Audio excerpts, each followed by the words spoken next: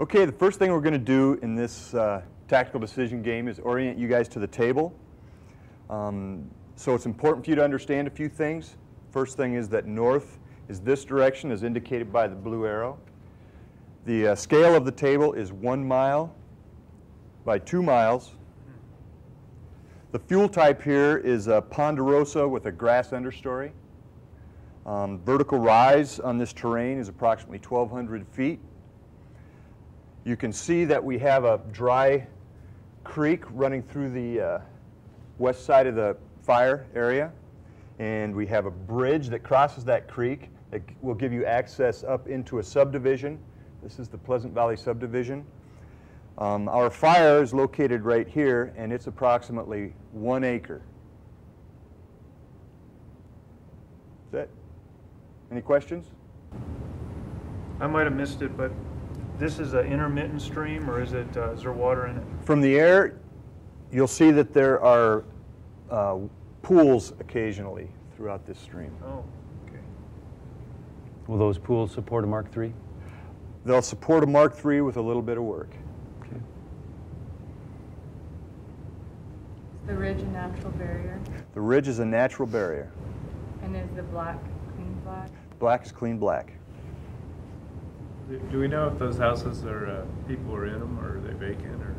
We do not. It doesn't appear as though there are any people there now, but we don't know for sure. And what resources are available to us? Uh, you currently have one other helitack crew. That's the Boundary Waters Helitack crew, two Sierra Juliet. And you have two Type 4 engines and one volunteer engine. That's the Mud Flat Volunteer Fire Department. Okay, I'm going to go into the fire scenario. It's July 27th at 1100. The temperature is currently 84 degrees, predicted to rise to 98.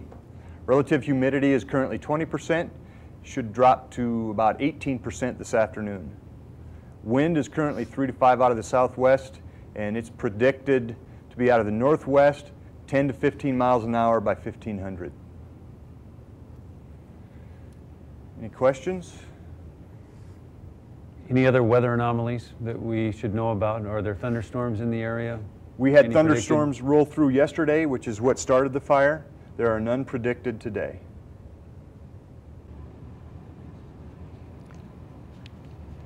Looking at the fire scenario, it looks like this would be a high priority fire, but are there any other fires um, near housing developments that have a higher priority than this?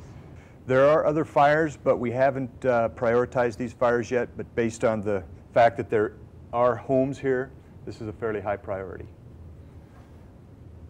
What we're going to do now is I would like you guys to think about the approach that you made. We did a good recon around the fire and then landed on the top of the fire above the subdivision.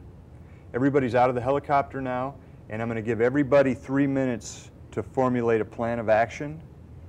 And when the three minutes is up, I'm going to select an IC to communicate their plan of action and execute that plan.